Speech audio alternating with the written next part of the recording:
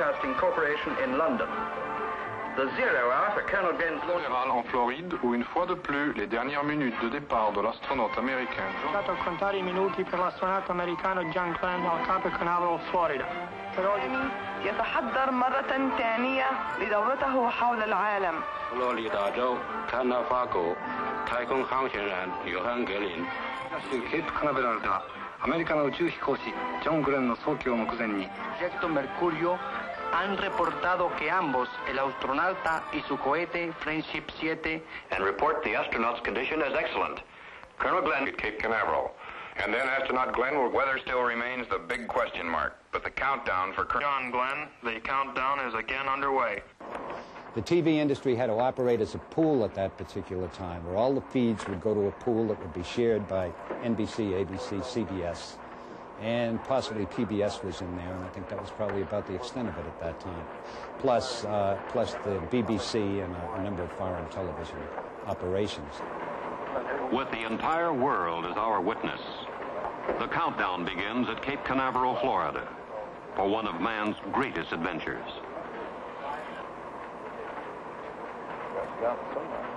It begins here with these men, for they are the launch team. And from now until the instant of flight, the fate of today's mission rests principally upon their skills and judgments. The countdown is their master plan, and they proceed through its ritual with unhurried deliberation.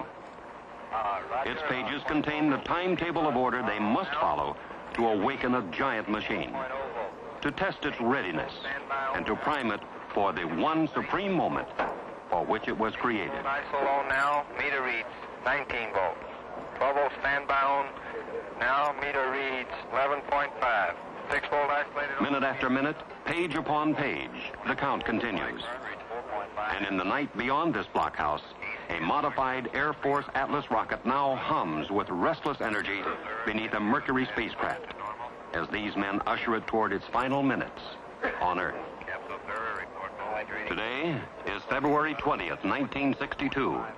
And today, if all goes well, the men here will launch an American astronaut into orbit around the world in a spacecraft which he has named Friendship 7. It'd been a long, hard struggle, particularly when we finally got Glenn off after a month of trying. At that stage was in pretty, pretty preliminary form. It, it was about 50-50 whether it was going to work or not. And strangely enough, when they started flying with them in, it, it started working. But once after we got through those, we never did have much trouble with the Atlas on our Mercury flights.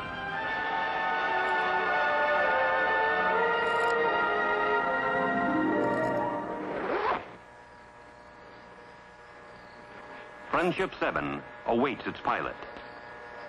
And the pilot has waited three years for this day. Three long, arduous years of study, of training, of waiting. And now he's ready. His name is John Glenn.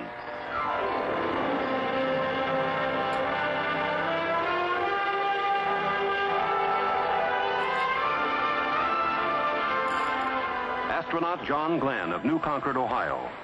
Lieutenant Colonel, United States Marine Corps. Married, father of two teenage children. Glenn has been a pilot over half of his 40 years, has flown in two wars, and is a veteran test pilot who five years earlier established a transcontinental flight record as the first man to average supersonic speeds across America. He volunteered for spaceflight, is one of seven astronauts selected for Project Mercury, the man in space program directed by the National Aeronautics and Space Administration.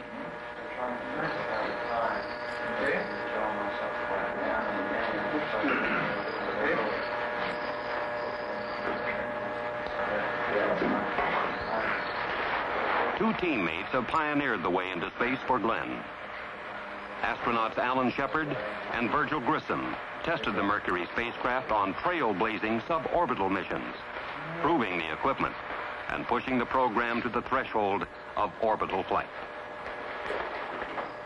And now, it's Glenn's turn.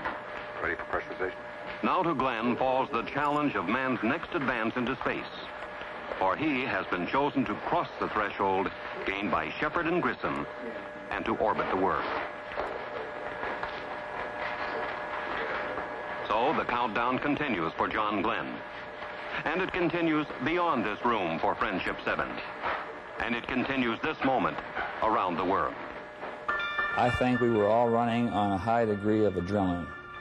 Uh, and looking back, I don't know how physically or mentally we were able to go through those periods of time, like I said, without sleep. But it was the adrenaline and the mission and the uh, camaraderie among each other. These are John Glenn's ground-based co-pilots, men he knows well, with whom he's trained, and in whose judgment his life is entrusted this day. They are the flight controllers. And from the Mercury Control Center, within view of the launch complex, they make the decisions, issue the commands that will govern the course of the mission. To these men throughout the flight will flood the facts needed for decision. The scope of their responsibility of the entire operation defies comprehension. Now, this very instant, the countdown for flight continues around the world. On three continents, on islands, in ships and planes, in lands where it's summer and tomorrow is near, in lands where it's winter, and this day is just beginning. Roger, how about you recovering? Uh, the recovery's go. Roger, recovery. Uh, Roger, CTC, Mercury Control is go.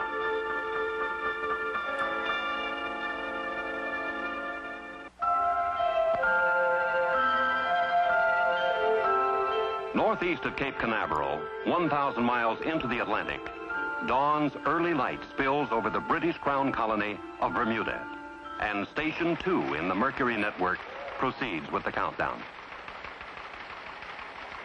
The tracking and telemetry stations, 18 in all, form an avenue of electronic checkpoints around the world to monitor and communicate with Friendship 7 as it passes overhead.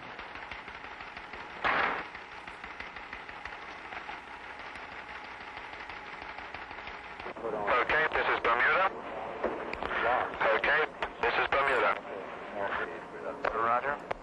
Telemetry, M&O. Uh, Roger. If radar is the eyes of the station, then telemetry is the ears.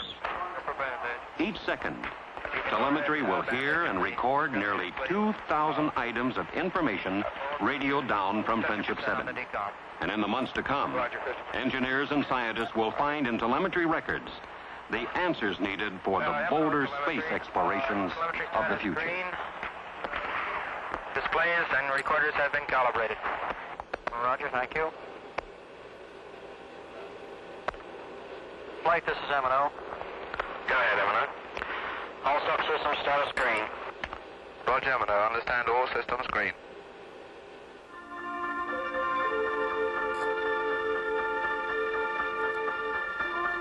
Latitude, 5 degrees north. Longitude, 10 degrees west. A spot in the Atlantic Ocean off the coast of Africa. And Station 3, the Rose Knot, waits under the late morning sun for John Glenn. Operating out of Trinidad, Rose Knot will communicate